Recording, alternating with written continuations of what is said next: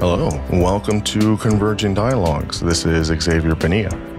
On this episode, I am talking with Jeffrey Rosen. Uh, Jeffrey is president and CEO of the National Constitution Center. He also hosts We the People, a weekly podcast of constitutional debate. He's a professor of law at George Washington University, and he's a contributing editor at The Atlantic. He's a graduate of Harvard College, Oxford University, and Yale Law School. He has had essays and commentaries everywhere, such as the New York Times, New Republic, New Yorker, and he's the author of seven previous books, including his most recent book, The Pursuit of Happiness How Classical Writers on Virtue Inspired the Lives of the Founders and Defined America. And uh, that's what we talk about in this conversation. We start by talking about the, the impact, uh, generally, that classical writers had on the founding fathers, why studying the influences of of the founding fathers is important. We talk about the pursuit of happiness. Uh, and then we kind of go through um, many of the, the big figures. So we talk about Franklin and the impact of Pythagoras on his thinking. Uh, John Adams on humility, Thomas Jefferson as a complicated figure with many of the things that he was uh, thinking in one way and then living another way.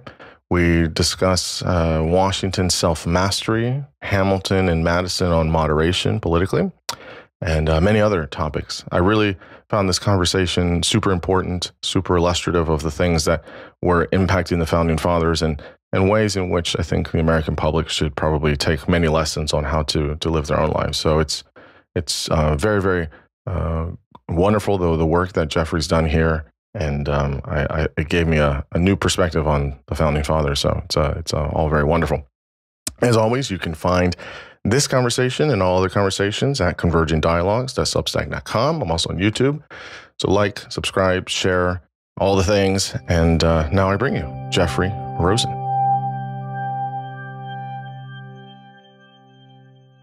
I am here with Jeffrey Rosen. Uh, Jeffrey, uh, thanks so much for coming on the podcast. I'm uh, greatly looking forward to uh, speaking with you. Thanks. Great to be with you. Me too. Yeah, yeah, absolutely. You wrote a you wrote a great book. Uh, I really, really enjoyed it. Uh, the book is called The Pursuit of Happiness How Classical Writers on Virtue Inspired the Lives of the Founders and Defined America. And uh, this is uh, this is this is absolutely wonderful. Um, it's uh, it's really cool because it's uh, one of those books where it's like, well, you know, people talk a lot about, especially historians, founding fathers, and things like that. And but it's nice to have kind of in one place all of the thinkers that inspired a lot of the um, the founding fathers and what the specific ideas were. So we'll get all into it. You, you cover a handful of uh, virtues. Before we do, uh, just give us the kind of snapshot of uh, who you are, uh, kind of professionally, academically, and anything that you're currently uh, up to. I'm Jeff Rosen. I'm the head of the National Constitution Center. I teach law at GW Law School. And what I'm up to is spreading the word about the wonderful classical moral philosophy that inspired the founders. Um, uh, shall I tell the? Should, do you want to talk about how I got into this stuff? Because it was a completely unexpected. Uh, yeah, yeah, please, please, yeah, please. So it was during COVID that I noticed two synchronicities that led me uh, to this wonderful literature. I was um, reading about Ben Franklin's 13 Virtues. I knew about his Virtue Project because uh, I'd practiced his effort to achieve moral perfection, as he put it, with a friend a couple years ago. Um, we were referred to the Hebrew version of the Franklin Project by a rabbi who's, who recommended it as a system of musar or character improvement. And we um, tried it for a while. It involves picking a virtue like temperance or prudence, making an X mark every night where you fall short, and um, trying to get better. We tried this for a while. We found it really depressing because there's so many X marks, and we gave it up for a while. but uh, we felt we were better off for having tried it. During COVID, I, I saw Franklin's project again and was struck by a motto he used from Cicero from the Tusculan Disputations, saying, "Without virtue, happiness cannot be." And then a few weeks later, I was at UVA, and there on the wall of the Boar's Head Inn were 12 virtues that Thomas Jefferson had drafted for his daughters. And they looked a lot like Franklin's. And what really struck me is Jefferson, too, used as a motto for the pursuit of happiness a passage from Cicero's Tusculan Disputations uh, hmm. it, that essentially says, he who is tranquil in mind and is neither overly uh, exuberant or unduly despondent has achieved the tranquility and self composure that characterizes happiness. So basically, I thought I've got to read Cicero, which I hadn't read. Um, mm. and, and then what else to read? And it was discovering a, a, a, reading list that Jefferson sent out to kids who were going to law school and, and friends of his when he was old about how to be a rounded person that really transformed my understanding of happiness. Jefferson has a section on ethics that he sometimes calls ethics and sometimes natural religion that mm. includes Cicero's Tusculan disputations and also the on duties.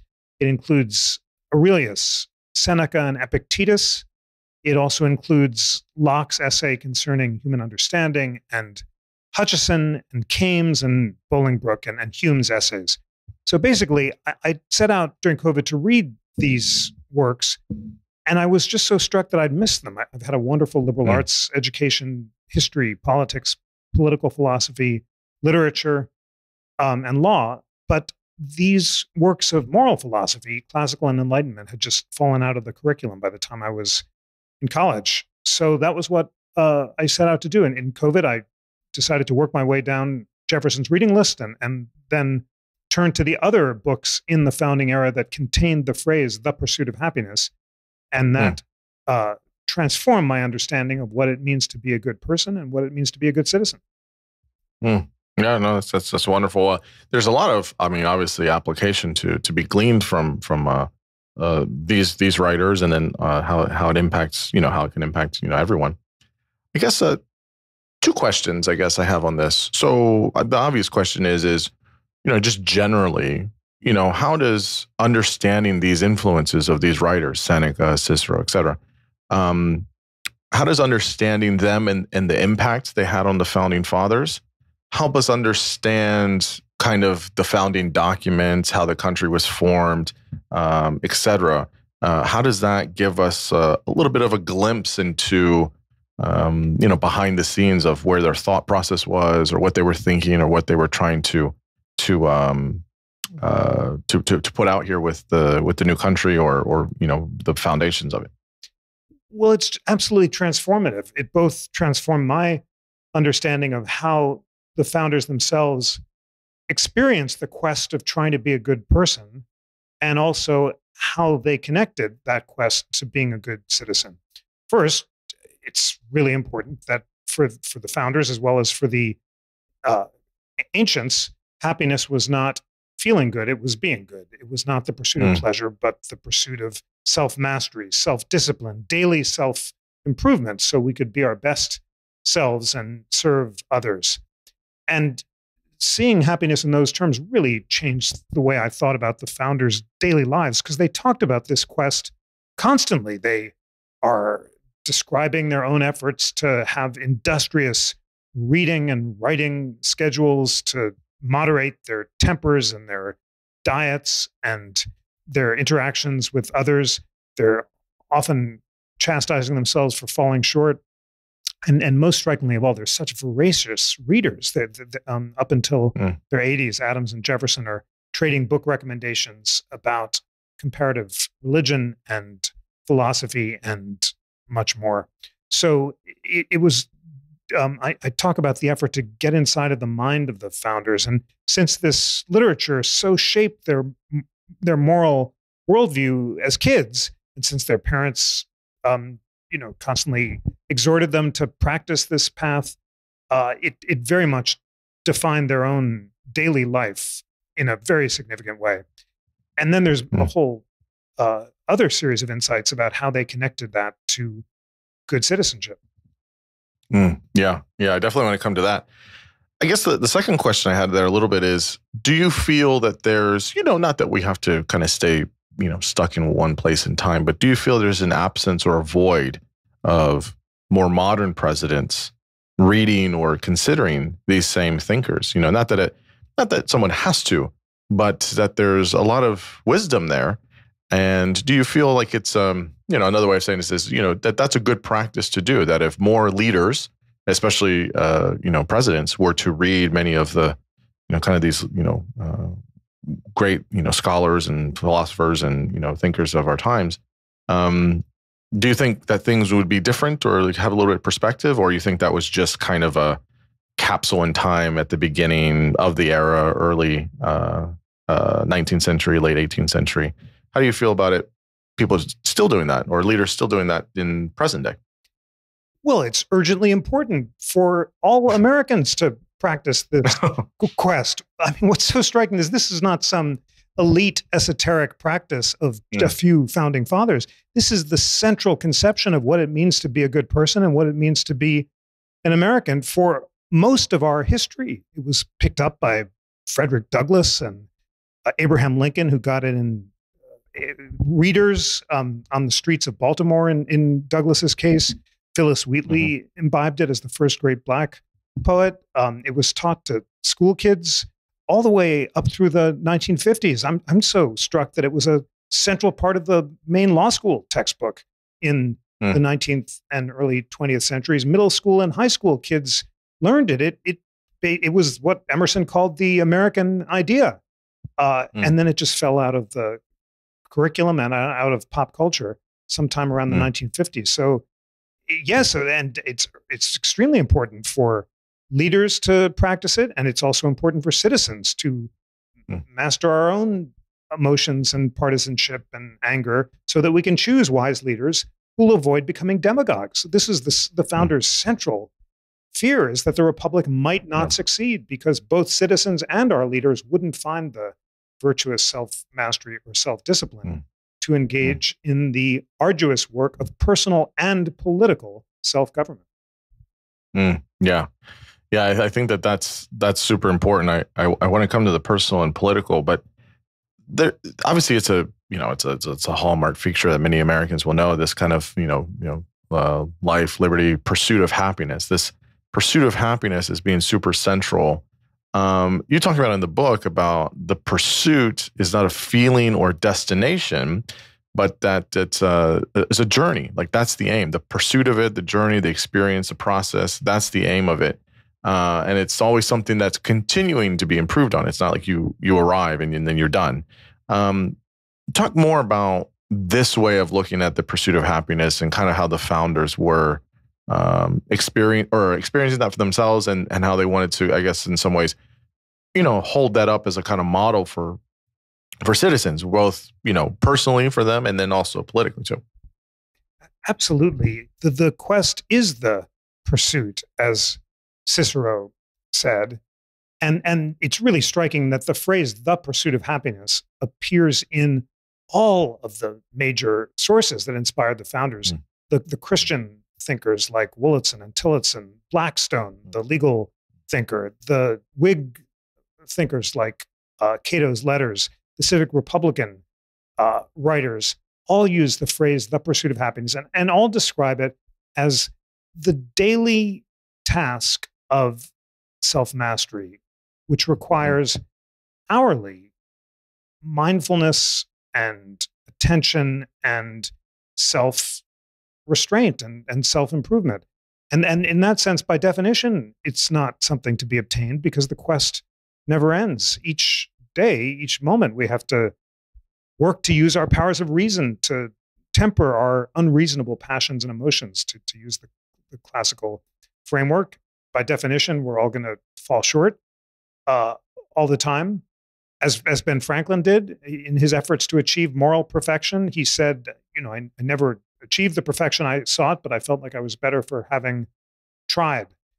If we if we use modern words like mindfulness rather than self mastery, mm-hmm.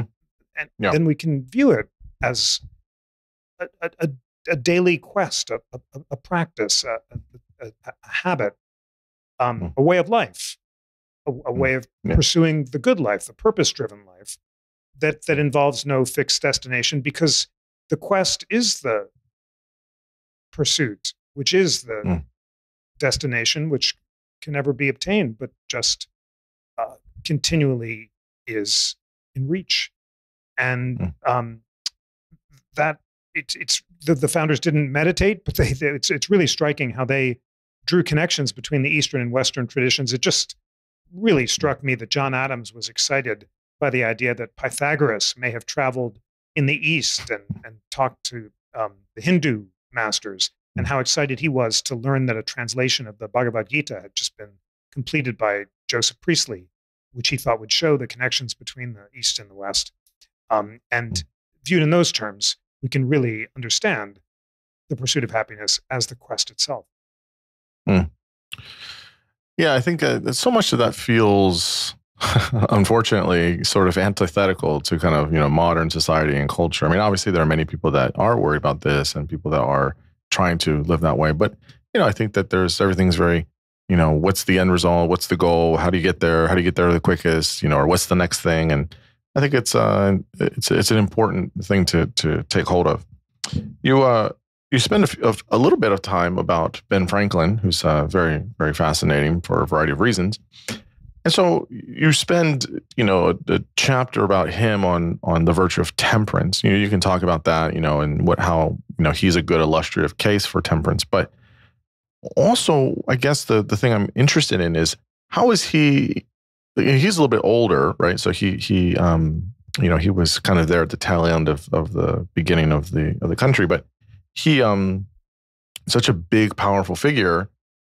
How how is he directly impacted by uh, Pythagoras specifically? You talk about that in the book, but also other uh, folks like Socrates and Cicero and, and others. So, what was the like, kind of direct impact for him and how he was trying to, to do things. It's really important to see Franklin among his many towering achievements as the first major American philosophy, philosopher of happiness. He was the one who set out when he was in his 20s to, to read popular versions of the classic moral philosophy, distill them as aphorisms for his newspaper, and uh, sum them up in Poor Richard's Almanac. He was the one who created this system of daily self examination. Um, and he got that from Pythagoras. Pythagoras has uh, 76 golden verses, which are Franklin like aphorisms, or Franklin is Pythagorean, which um, are all part of what Pythagoras recommended as daily self examination. And Pythagoras said every night before you go to bed, you should make a enumerated list of all of your virtues and how how you've succeeded in living up to them.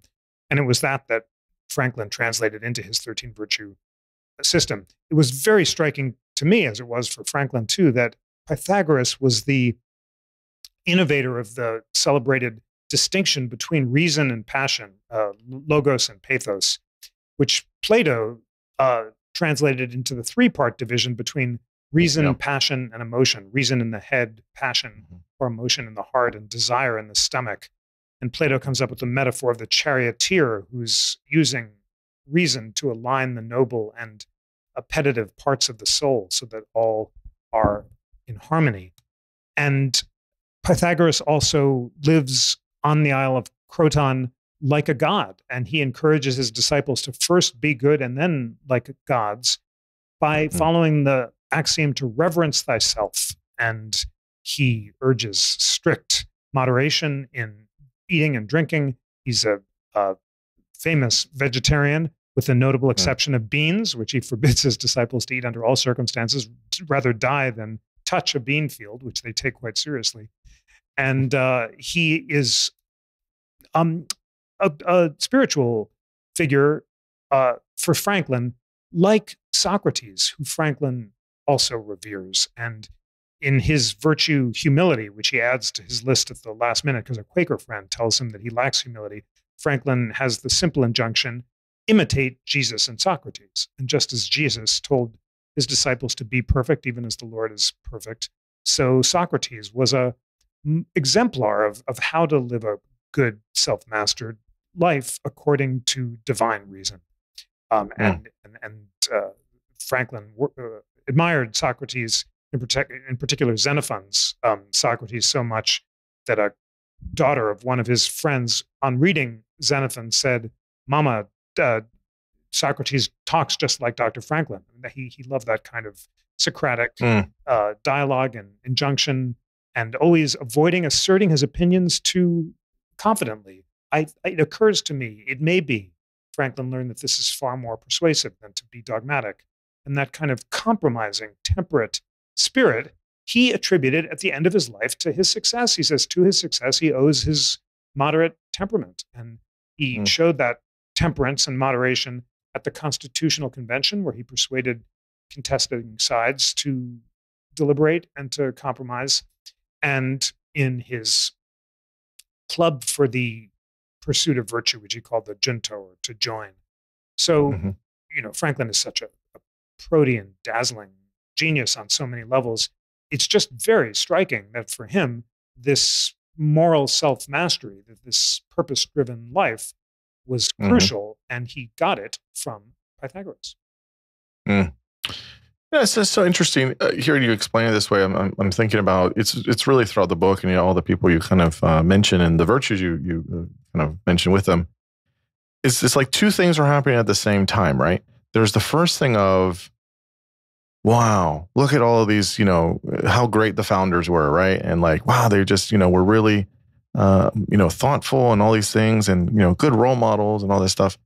But also, it's it's the other thing too of wow look at how human they were too look at they were just they were average people like you know you or i were and of course they're smart and brilliant and that's great you know visionaries transformative of sorts but they also struggled with a lot of real things like a lot of people do and you know whether it's you know being able to have self-control or to be able to be more prudent or to be more you know whatever any of these pieces are that are you know more humble uh, more temperate you know all these things they each struggle in different ways. And of course, you know, for the time, you know, obviously times are different now, but generally it's it's interesting. So it's such a it's such a cool thing to see kind of both at the same time. We can admire and revere them, but then we can also say, yeah, they were super flawed and they also recognize that and try to to continue to work on themselves. It's this very interesting kind of thing happening at the same time.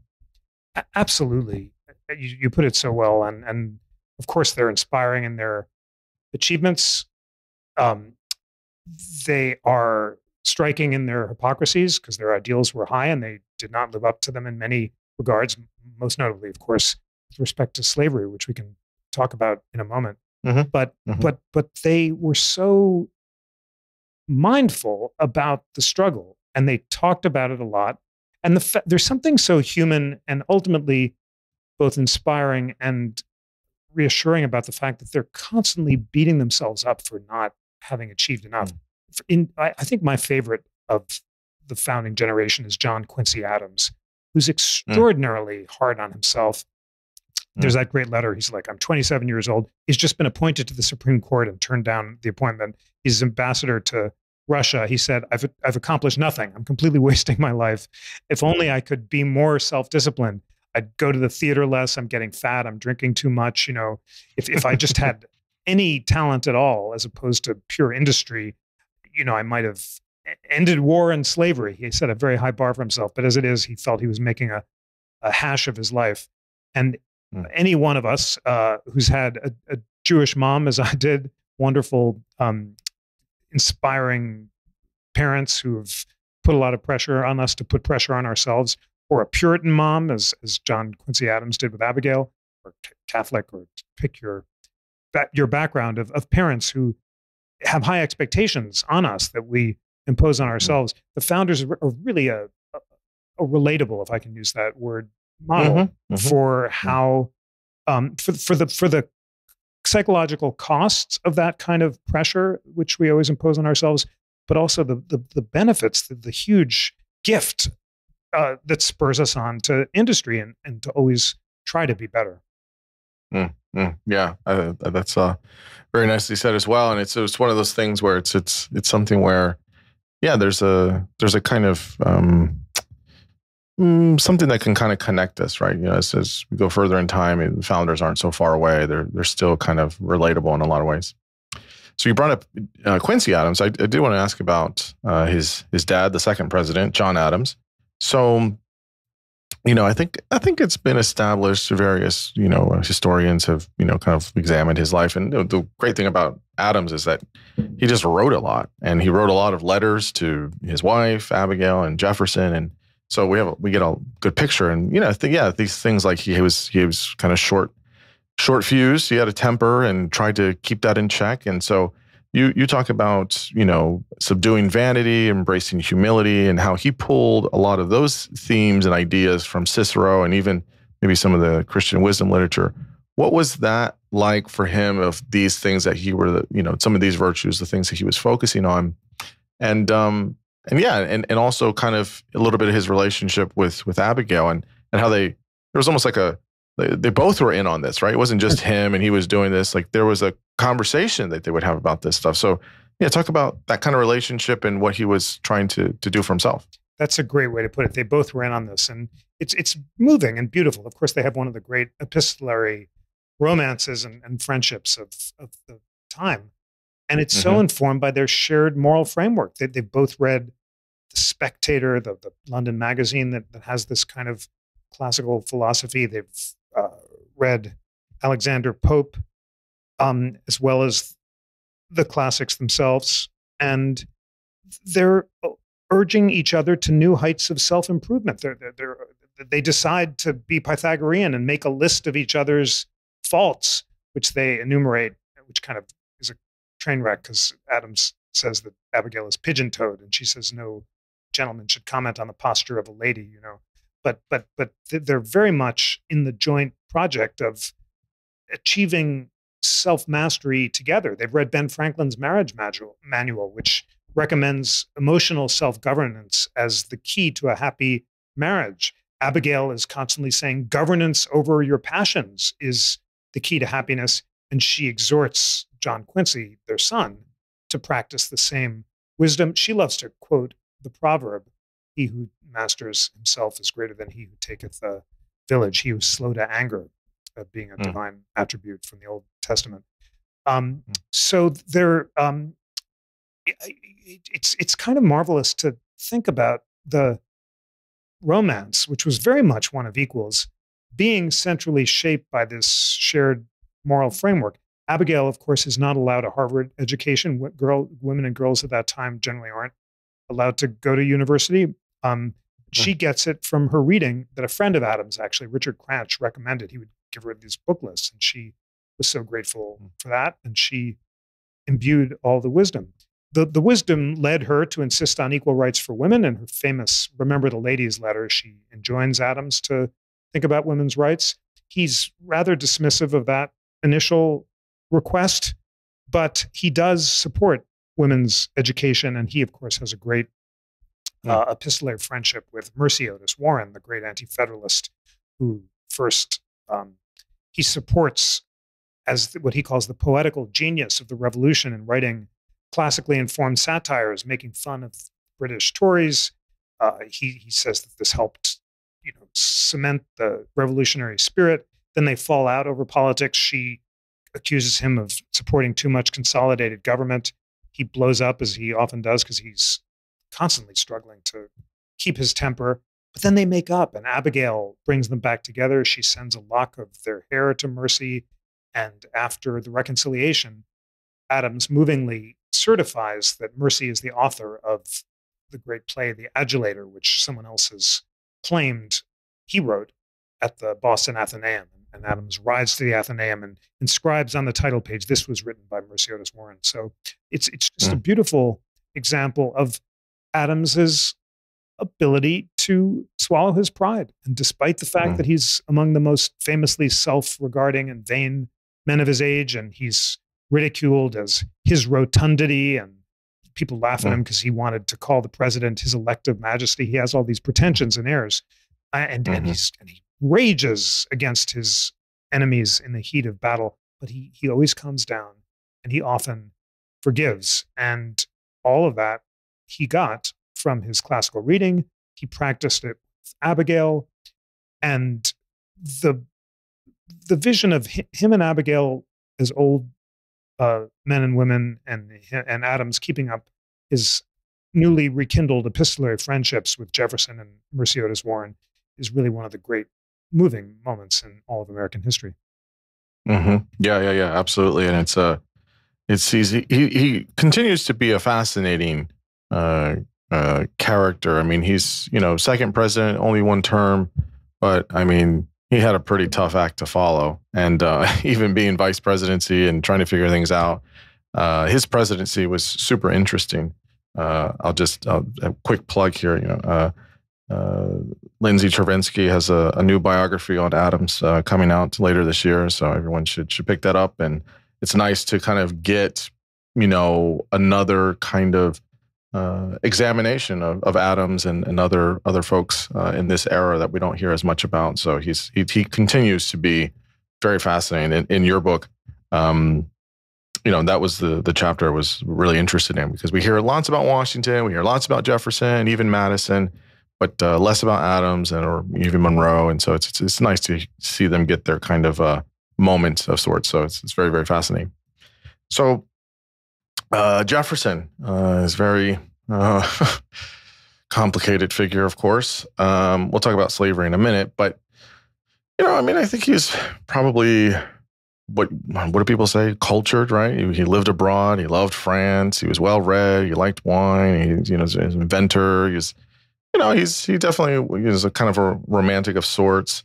Um, you know, I mean, obviously, is this right? His library was like the, the, the start of the creation of the Library of Congress we have. Like, you know, it's or it's at least it's there, and you know, it's like all of his. The guy read everything. He he was so well read. I mean, the guy literally read everything. Um, so you have this side of him, right? And he, you know, writes a lot of, you know, big, big part in our our founding documents, and just, you know, he's really good writer. But it's just, you know, it's always it's always an interesting thing because like the you want to talk about flawed i mean he also is a very flawed human as well um, most people will be familiar with not only did he you know own slaves but he had um, children with some of the slaves he, he slept with um, you know i mean how how consensual could that be uh, i don't know people have different ideas about this so you, this gets really messy there just some kind of ugly stuff um, yeah, I mean, and you you treat it well in the book. So I mean, what do we? You know, obviously he's not the only founding father that had slaves. You know, uh, uh a lot of them uh, did. Um, not all, but uh, many. Yeah, what do we what do we do with Jefferson? Someone that had such good ideas, good writer, really liked culture, really liked building things, but also was kind of terrible in a lot of ways too. So, what what do, what do we do with Jefferson? How do we understand these contradictions of sorts? we it's, I'm it, I'm grasping for metaphors. Uh, mm, I, I mm-hmm. call him a Chinese box who kind of was constantly compartmentalizing the various parts of his personality uh, so that he refused mm. to acknowledge the contradictions even to himself. Uh, Joe Ellis called him an American Sphinx. Uh, mm-hmm. Chief Justice uh, Marshall called him the great Lama of the mountain. Mm. There, there's a ethereal quality that leads him to construct these self justifying fantasies of a kind of temple of reason at Monticello, high above the vexations of ordinary life, even as he's sustaining a life based on enslaved labor and surrounding himself with enslaved human beings, some of whom are his own children. Mm. Mm-hmm. For, for, first, let's let, let me try as concisely as possible to to, to acknowledge the height of his constitutional achievement as the mm-hmm. articulator of the American idea. He articulated the American idea in the Declaration of Independence, and that is uh, that all men are created equal, equality, that we are endowed by our Creator with certain unalienable rights, natural rights. Among these are life, liberty, and the pursuit of happiness. Liberty, the pursuit of happiness. That to secure these rights, governments are instituted among men, deriving their just powers from the consent of the governed. Democracy, liberty, equality, democracy, all embodied in this in this act of constitutional poetry. And it's really significant that Jefferson didn't write this on his own, as he acknowledged. He was just distilling ideas that were in the air. He, he attributed them to Aristotle, Cicero, Sidney, and um, others. And in the book, I just retrace his footnotes and talk about the, the range of his reading allowed him to distill these ideas. He relied on Adams's um, thoughts on government and on James Wilson's reflections on the extent of legislative authority in Britain and on George Mason's Virginia uh, Declaration of Rights. And of course, Jefferson read the primary sources that those thinkers relied on, so many of whom were on his reading list. And they included all the classics, which he read in the original. He said his classical education he would thought was even more precious than the inheritance that he received from his father of, of land. Uh, and and the Enlightenment thinkers, and he synthesized them so well that he clearly and powerfully expressed the essence of the American idea. Then he, you know, he puts three things on his tombstone. Doesn't mention that he's president, but he says he's the author of the Declaration of Independence, the Virginia Bill on Religious Freedom, and the founder of the University of Virginia. And mm-hmm. surely his distillation of the freedom of conscience, as he put it, the illimitable freedom of the human mind in the Virginia Bill of Religious Freedom is his second great achievement after the Declaration. And his insistence that we have a natural, unalienable right to think as we will and speak as we think, as he puts it, quoting Tacitus, and that we can't alienate or surrender our powers of, to think for ourselves because they're the product of our reason, and that no king or president or church or established religion can command us to think as we or anyone else please, is will inscribe him into the shining history of liberty forever. And, and then and there's his championing of education and his deep faith in democracy. And this distinguishes him from Hamilton, uh, his political rival and uh, the antithesis of the Democratic Republican Party, which Jefferson founds, is based on the idea of the possibility of public education on a widespread and the idea that large groups of citizens yeah. can perfect themselves through self mastery and, and reading and study so that they'll be capable of virtuous self government. And that faith in democracy uh, is mm. definitive for America. So I could go on, but I, I, do think before we call him to account for his extraordinary hypocrisy, we, really do have to acknowledge the significance of his of his of his achievement. The hypocrisy. Is, go ahead. No, no, I was going to say, yeah, certainly. I mean, I think that you know this is another thing. I mean, maybe maybe not in the same way, of course, but we this is a, a sort of relatable thing. We're all kind of a box of contradictions. We all have very ugly parts of us, but we have some amazing parts. We can create so much. We can be great thinkers. We can do many things. And I think that, mm, you know, obviously, you know, people can have ideas or judgments about certain figures, especially public figures or role models, and there's a there's a, a certain hierarchy there. But um, I definitely think that there's a space of, yep, how do we acknowledge and accept and, you know, really, you know, revere. I mean, we don't have really a United States in a lot of ways without Jefferson, probably. I mean, he was so instrumental.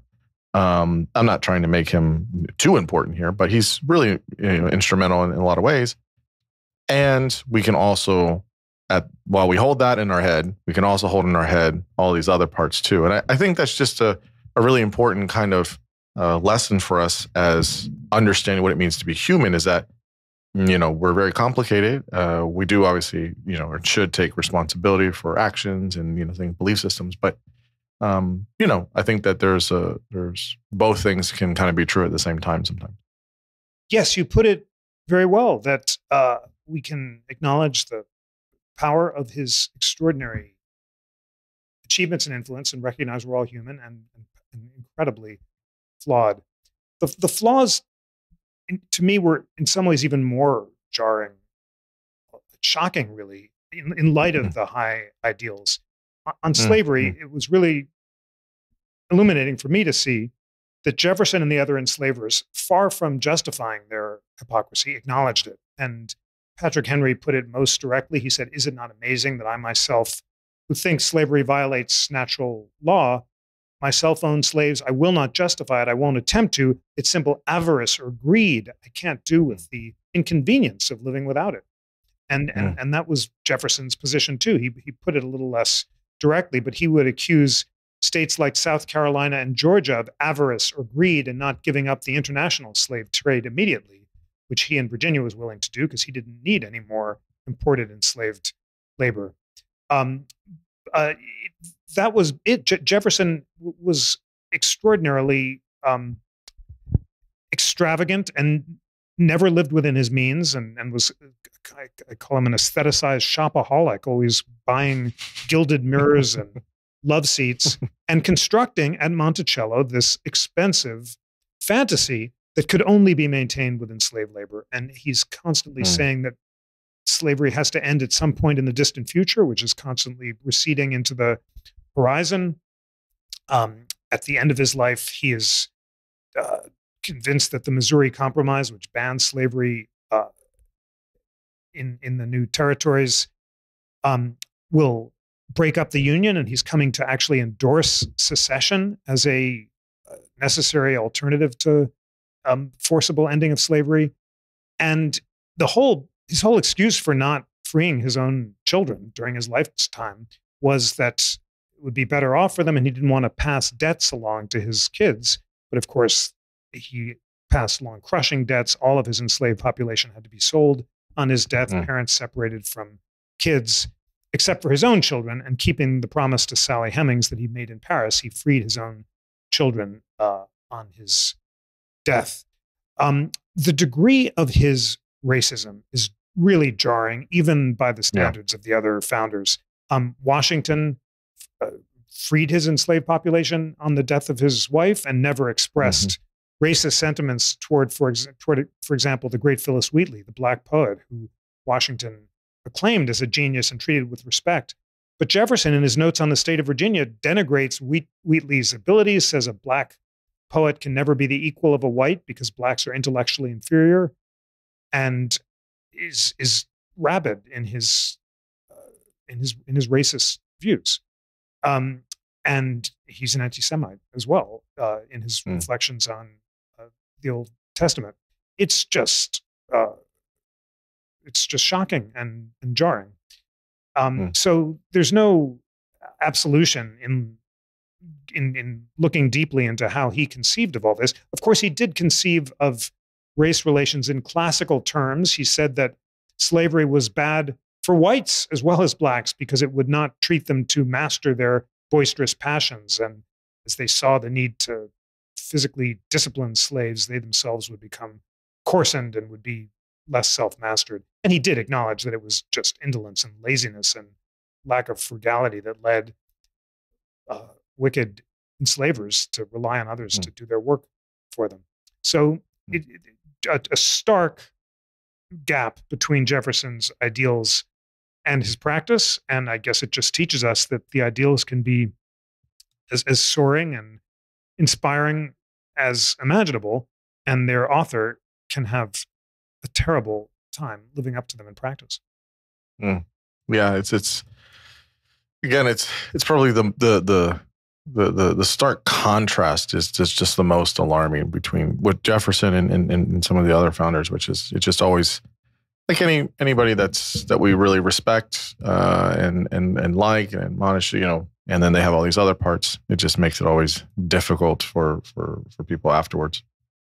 Um, so I guess the the other question I have is is about Washington. I guess the question I have with him is, you know, Washington, even by um, a lot of historians, I mean, even even I think uh, Ron Chernow was, you know, in his last, you know, the, the, the big biography he wrote on Washington. I guess it's you know almost ten years ago now. Um, is uh you know kind of there's a lot of mystery around him he's sort of an enigma like yeah you know during his time alive and afterwards and we don't have everything he wrote and things like that but how much of an impact were any of the the kind of ancient thinkers but especially seneca on washington and and learning how to manage you know kind of self uh, command and restraint and things like that it was central and and washington uh, for me came out even better as a result of the mm. classical framework. Um, just as Jefferson came out worse, Ron Chernow's biography is, is marvelous in painting yeah. how central self mastery was to his success. And Chernow attributes it partly to his overly critical mother, who was always nagging him and telling mm. him he wasn't good enough, and he would just bristle at her. And, and his constant effort to control himself with his mom led to this lifelong effort to control himself with regard to the world. And he got mm. that not only from his mom, but from Seneca, which he read as a kid. The Seneca letters, um, including his letters on time and how to use time well, which is the source actually of the famous line that Shakespeare quoted: "What fools these by, by time mm. is a loan repaid by industry. By squandering it, what fools these mortals be." Um, Seneca's a great uh, first uh, reading for for listeners who want to check out the ancient philosophy in an accessible way. Mm. Um, it, it led to Washington to a lifelong focus on timepieces. He had clocks everywhere. He kept a really rigid schedule, and mm. and his political leadership came from his self mastery. Jefferson said that prudence was his greatest attribute. He had a strong temper, but he always usually managed successfully to control it. He was only seen losing his temper in public on a few occasions. And there are these defining moments, like at Newburgh, where the troops are mutinying, and there's a danger that they'll rise up against him because Congress won't pay them for their Revolutionary War overtime. And Washington mounts the Temple of Virtue, as the stage is called. Uh, and after a performance of Cato's Letters, his favorite classical piece, um, struggles to put on his reading glasses as he tries to read a speech he's composed for the occasion, urging the troops to engage in self mastery. And then he famously says, You know, forgive me, gentlemen, I've grown almost uh, uh, gray and now almost blind in your service. And people weep because it's such a human expression of frailty, um, but always within the context of this deeply controlled, self composed, almost theatrical conception of enacting what it means to be a self mastered leader. Uh, so he embodies for America what virtuous Republican self mastery can mean. And then he exhorts mm. citizens to practice it in his farewell address, where he says, Unless we as citizens can master our turbulent emotions, we'll descend into factions and the republic will fall like Greece and Rome. And uh, and and that farewell address uh, urges the establishment of a national university to teach the habits of self mastery and democratic deliberation so that people from around the country can set aside their sectional prejudices and deliberate together. Mm. Uh, mm. There's always a debate about, you know, was Washington so great?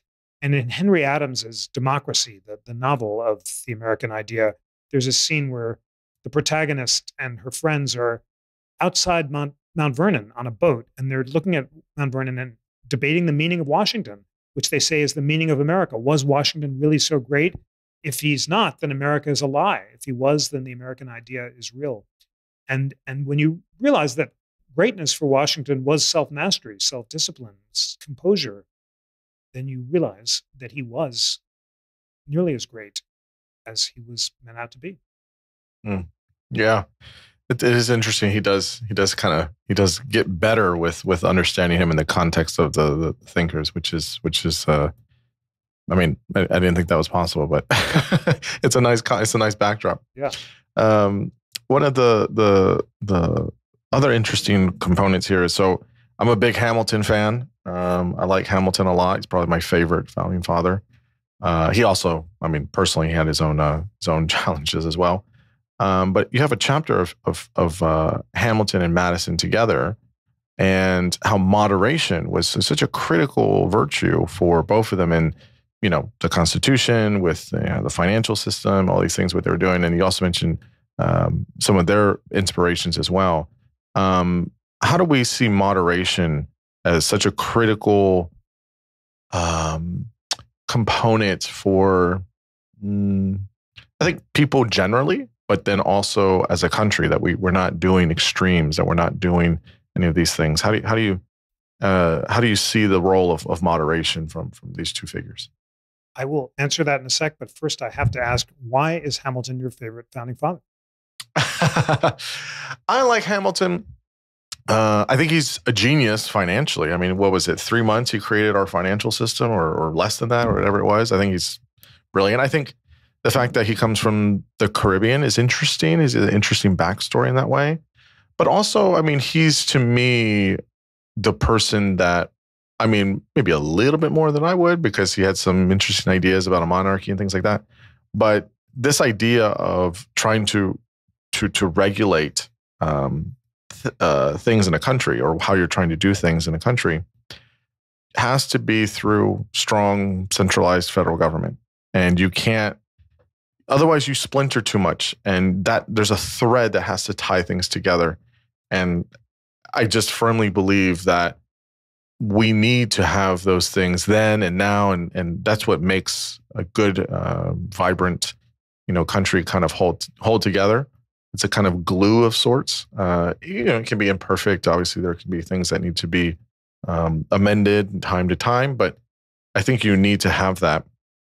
And just very, uh, you know, how systematic it was and how organized. And so those kind of big, big picture things, those are the reasons why, for me, um, you know, he, he had that piece of it, but then he also was passionate about that belief right? He didn't just kind of say, you know, I see Washington as like the true independent, right? He's just kind of, yeah, you know, he's hearing everything, and then he'll just kind of come in at the end and say, here's, here's what we should do, or here's the decision, or okay, or he would defer to people. But you know, Hamilton was passionate, and he believed strongly, and would make his case and make good arguments, and um, so I just find how he did it and kind of what he was what he was talking about in, uh, for the country, both both financially and just kind of more generally.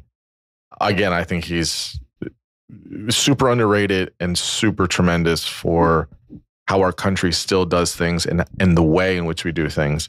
And um, yeah, so I mean that's that's like kind of the those are the biggest reasons why I, why I love Hamilton. I'm so glad I asked. You put so well his greatness, um, his devotion to union as the mm-hmm. uh, engine for our joint success and achieving common purposes and the need for a strong federal government as, as well as the mm-hmm. passion and the um, create the genius of creating the financial system and the immigrant mm-hmm. background. So my next book is actually how the debate between Hamilton and Jefferson over union versus hmm. states' mm. rights has defined oh, all American nice. history. And it's really oh, striking. Nice. It's kind of an obvious theme, but it, just bringing it together is meaningful. And it's incredible mm. how hmm. explicitly both Hamilton and Jefferson were invoked throughout American history, each on mm-hmm. usually both sides of the same question, depending on whether their stock had risen or fallen. But that that theme just proves to be central, and I'm having mm. a lot of fun with it. No, that's great. Yeah. Um, moderation is more of a theme of the Federalist Papers. Obviously, it's not uh, mm-hmm. unique to Hamilton. He shared it with Madison, mm-hmm. um, and Madison was the great apostle of moderation in between mm. Jefferson's states' rights and strict construction and Hamilton's devotion to union and, and, liberal construction. Madison was always finding the middle way.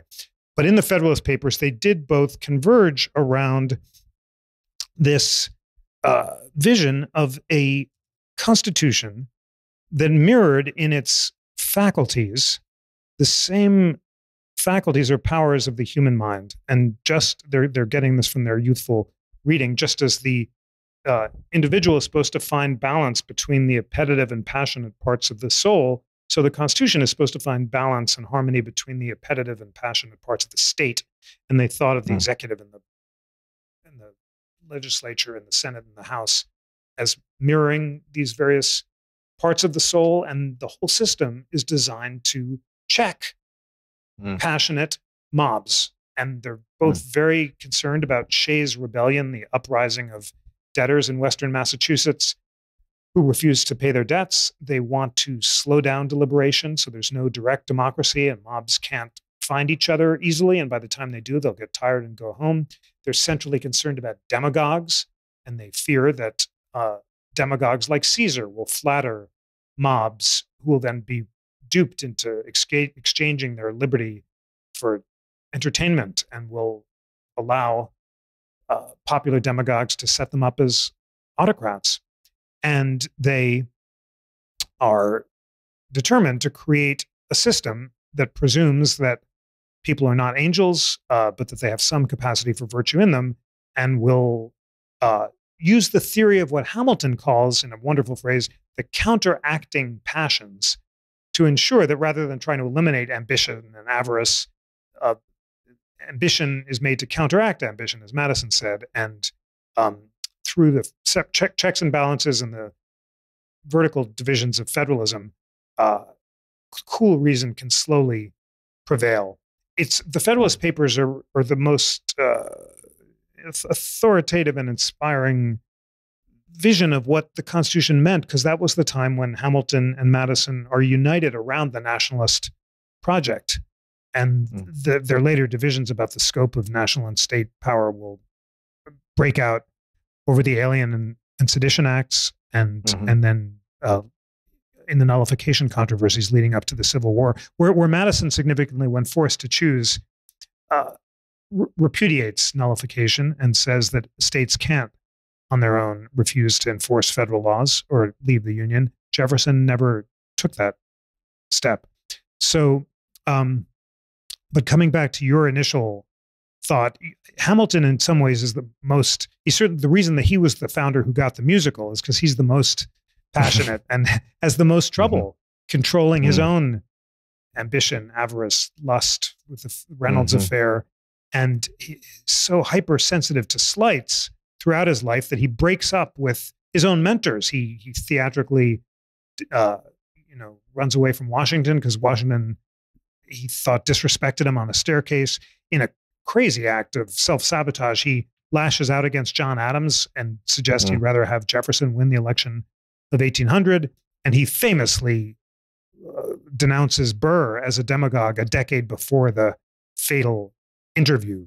So that that and and because he always wants to wreak himself onto the fame of the world like a sunbeam. He he he, he as a kid he says, "I want a war, Neddy." He writes to his friend Ned, so that he can become famous and win the the justified fame that the classical people thought comes from heroism on the battlefield, and he wins it. He is a hero at the Battle of Monmouth and elsewhere. So, gosh, what a you know what a large character who just blazes brightly during his brief lifetime and then ends in violence.